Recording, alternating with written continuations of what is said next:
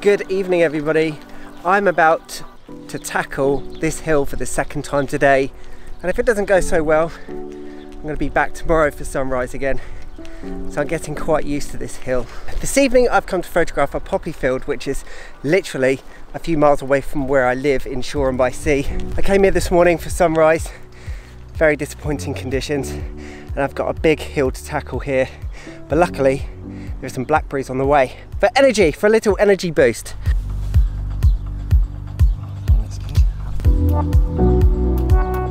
Oh, they're nice and sharp. Just what I need to get up this hill. Poppies this year, really interesting. If you saw my video that I made about tripods a couple of weeks ago, actually no, that's a lie. About two months ago, I was complaining at the lack of poppy fields this year in East Sussex and I said I hadn't found any. So since I made that video I've actually found two poppy fields. This poppy field in Lancing I came to two years ago and uh, I was taking some portraits and it works quite nicely I have to say. But I think I'm gonna have to work it quite hard. But the good news is this kind of doubles up as a, a second location so if I go up to the top and follow the hill up I've actually got some nice rolling hills to the other side of this as well. So today we're going to talk a little bit about poppy fields, some of the shoots that I've done over the years. Uh, it's not an easy subject, I'd say. It's easy to get a photograph of poppy fields, but it's difficult to get a really good photograph of poppy fields. I'm also christening a brand new lens. Well, it's a new lens for me anyway. Uh, two weeks ago, I reviewed the Canon 24 to 105 lenses uh, for Gordon Laing's channel Camera Labs. So by the time this video comes out, that should be live. So I'll put a link up here. If you're in the Canon mirrorless system and you're thinking about buying 24 to 105, don't buy it until you've watched my review because they do two lenses and it's interesting how close they are. Not in price, in terms of optical quality. So don't go and spend your money until you've seen that review. You can probably see it clipped on here. I have not taken a single photograph with this lens yet. I'm hoping I've got a good copy.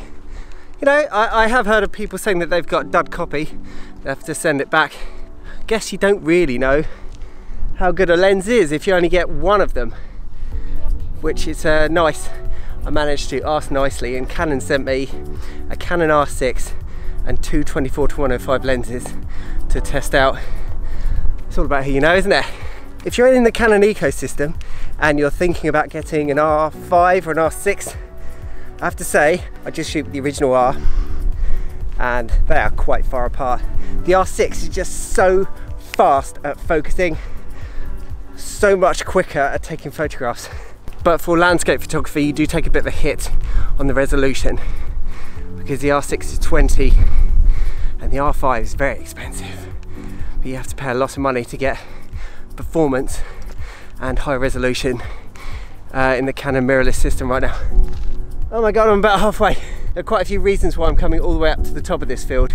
It's because the poppies are a bit more dense and you've also got some South Downs in the background because just poppy, poppies on their own are a bit boring.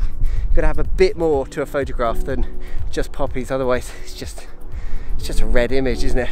We're still one hour off sunset. I'm surprised I haven't seen any other photographers, but the reason I'm here an hour before sunset, which is a bit early for me, I normally just turn up with 10 or 15 minutes to spare, which is bad practice anyway, uh, is because when you're photographing these locations in the South Downs, you quite easily just lose the sun behind one of the hills. Half an hour before the sun is actually supposed to set, and uh, that is why I'm here way before I need to. Plus, just gives me a bit of an opportunity to just chill out, find some compositions. I've got the 24 to 105 and I've also got the 100 to 400. So I've got, I've got it all covered. Got it all covered. That's why my bag is so heavy. Now I said that I found two poppy fields in total. The other one was out towards um, Ditchling Beacon sort of area. Quite a trek to get to that. And uh, I went there with my friend Louise Welcome. I'm sure she's going to be in one of these videos one day. We went there for sunset. We were literally gifted 60 seconds worth of light and then the sun just hit some low-lying clouds.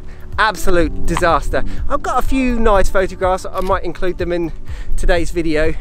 Uh, depending on how today's video goes probably going to include some poppy photographs that I've taken today, this morning, a few weeks ago, over the years.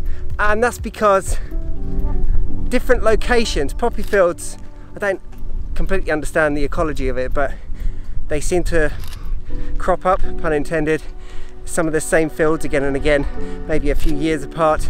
So the poppies were in this field two years ago and they're back. So it's worth just tagging this location. Uh, maybe in a few years time, poppies will be a bit better. But considering it's August, last year and the year before that and the year before that, I was photographing poppies in June. Something is definitely up with the weather this year. The poppies in this field are very, very low indeed. I'll show you. The poppies are not even as high as thistles out here, look. You can see it's not exactly dense, so I'm gonna have to work quite hard. If you've seen a few of my videos then, uh, you'll know that I like to shoot into the sun, maybe some f16 with some Sunstar in the background. Backlit poppies look really good, side lit poppies look really good. Just come over the top of the hill and there are a few fields over here which have got hay bales in, which is kind of like catnip for landscape photographers. I Don't know if I've got enough time to do both of these locations.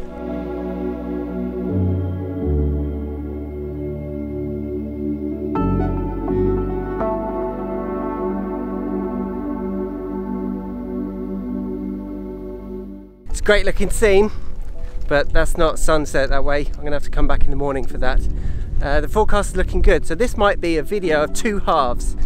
This might be a sunset and sunrise.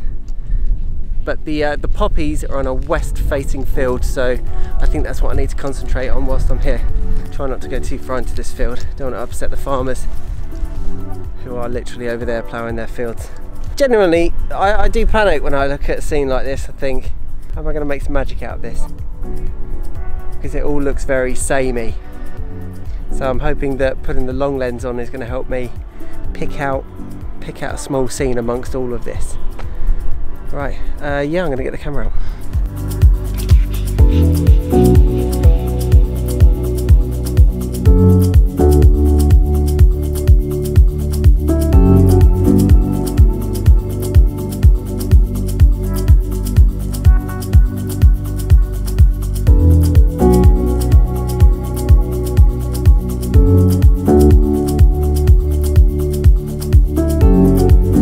I'll be honest with you, I was getting a bit panicky there and I didn't think I was going to get anything. But then the sun and the light really started to happen. It's really, really close to the horizon now. Getting a few shots that I quite like with the 100 to 400. Might just lose that sun in a second. This might all be over. Two minutes later, the sun is gone. I have still got half an hour until the sun sets, yet it's just disappeared behind a bank of clouds. Guess I will be back at sunrise then, won't I? Alright, end of part one. I'll see you in the morning. I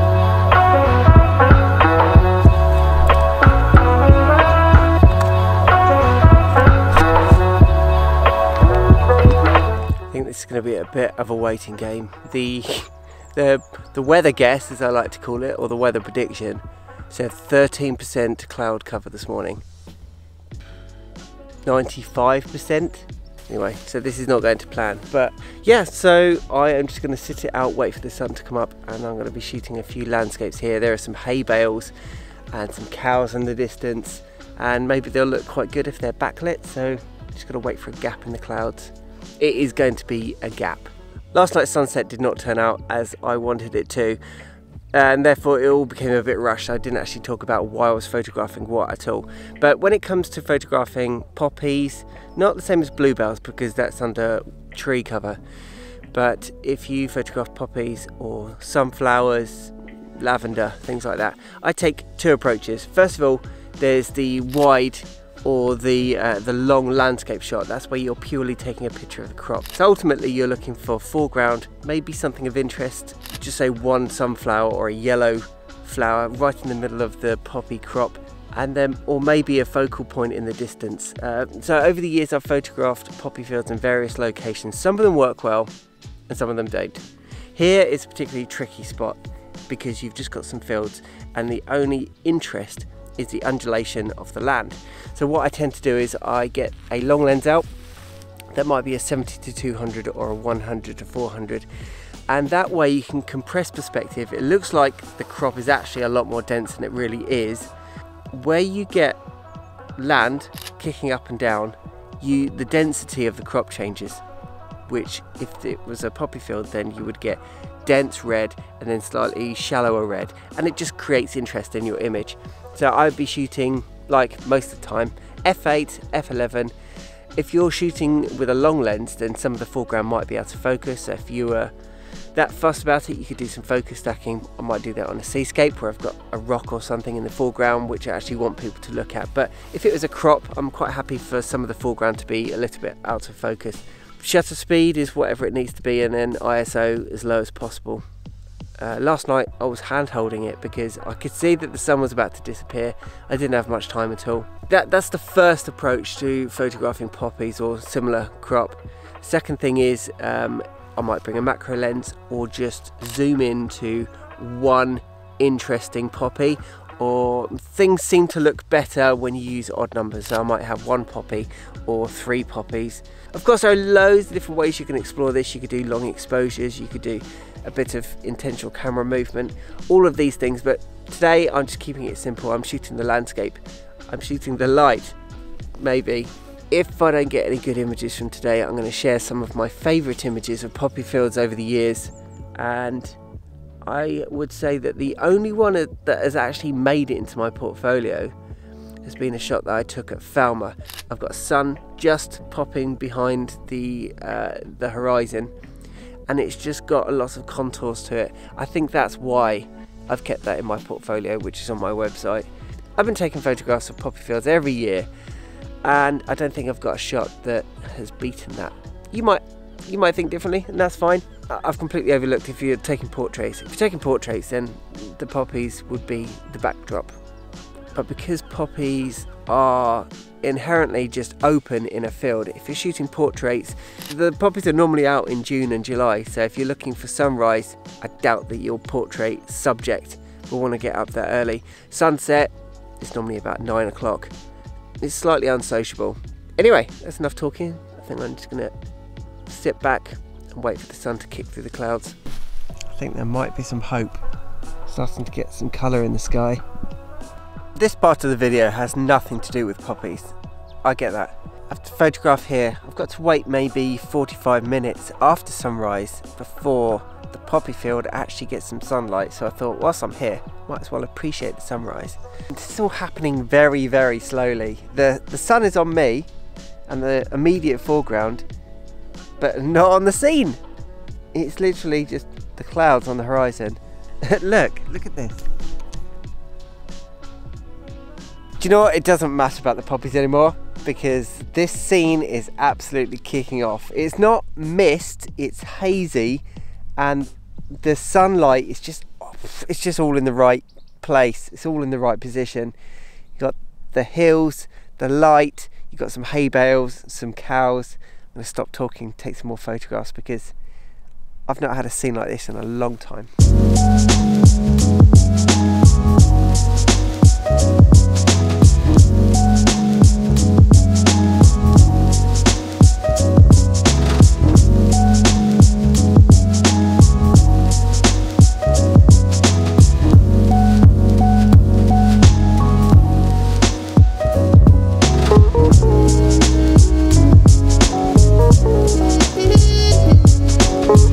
Being 100% honest with you. When I was driving here this morning, I thought, I might as well just quit. Look at the conditions. It was 95% cloud cover versus the prediction of 13%. But I'm glad I sat it out. Sometimes you're just going to sit at your location for 45 minutes before you actually see the sun, but don't be afraid to just change your plan. This video is about shooting poppy fields but I knew that there was another composition nearby. Poppy Fields wasn't working out. Scrap that idea and yeah, go wherever the light is. So that's what I did this morning. Sunset turned out to be a bit of a fail. The sunlight is just starting to skim the top of the poppy fields now, so I'm heading back. It might come as a bit of a surprise to some of you. I actually go out a lot more than I film.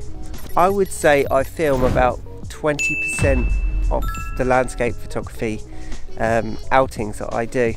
And there's a good reason for that because coming out and filming these videos is a lot harder because you're not just concentrating on the photographs, you're concentrating on bringing out two cameras, two tripods, maybe you're doing a time lapse, maybe you're flying the drone as well.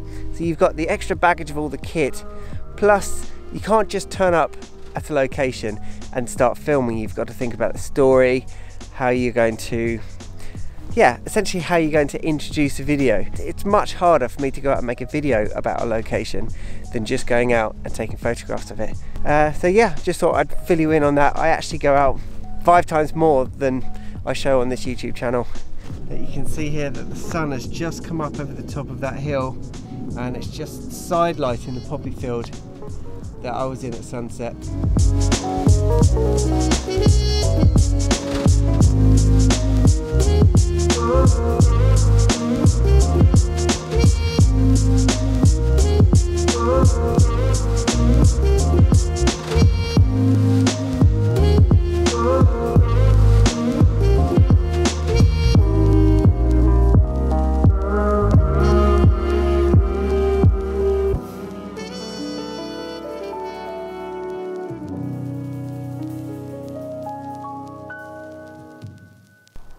frustratingly, I'm going to have to call it and say that's it for today because the clouds are ruining my day. Well, they kind of made the day at the sunrise, but now they're just ruining it. They're ruining all the fun.